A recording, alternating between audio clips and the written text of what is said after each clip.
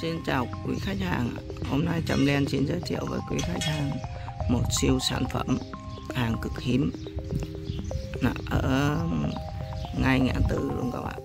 Có đường hồng 4 mét à, thông giữa hai công viên lớn và nhỏ. Đường hồng 4 mét đang à, chuẩn bị à, mình sẽ phóng lớn lên một chút cho mọi người xem. Đó. Đường hồng 4 mét dải cỏ thông viên à, thông giữa công viên lớn và công viên nhỏ nha. công viên nhỏ phía đằng sau và công viên lớn đây quý khách ơi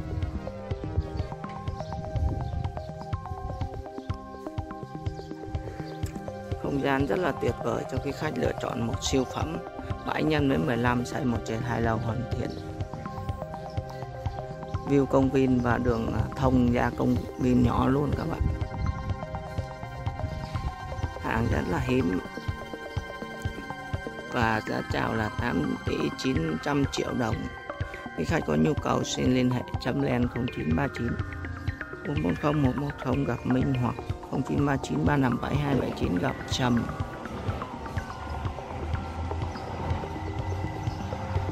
một siêu phẩm 7 x đến 15 xây dựng một trệt hai lầu. Quý khách sở hữu sẽ được nghiễm nhìn tận hưởng không gian rộng thoáng của 4 mét đường hồng.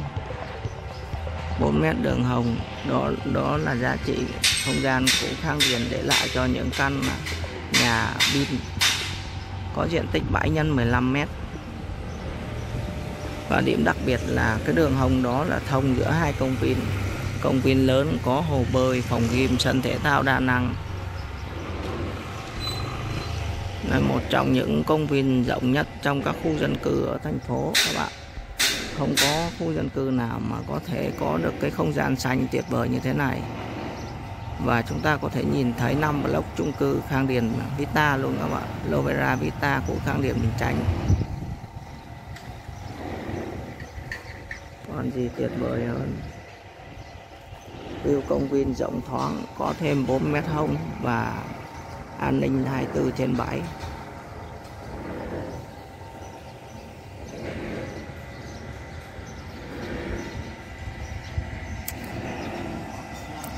Trên cung đường đối diện công viên và hồ bơi này châm len còn một căn nhà thô và một căn nhà hoàn thiện. Khi khách có nhu cầu xin liên hệ châm len để à, thương lượng giá trực tiếp chính chủ với đơn giá mềm nhất thị trường và nhận dịch vụ của châm len nhiệt tình chú đáo, uy tín, tận tâm và chuyên nghiệp với khách ơi cảm ơn quý khách đã theo dõi video và xin quý khách một like, một share, một subscribe và chuông gật đã để Tâm đen có những video cập nhật về đơn giá mới, sản phẩm mới quý khách tiện theo dõi ạ. Chúc quý khách một ngày mới tràn đầy năng lượng như ánh bình minh sáng nay ạ.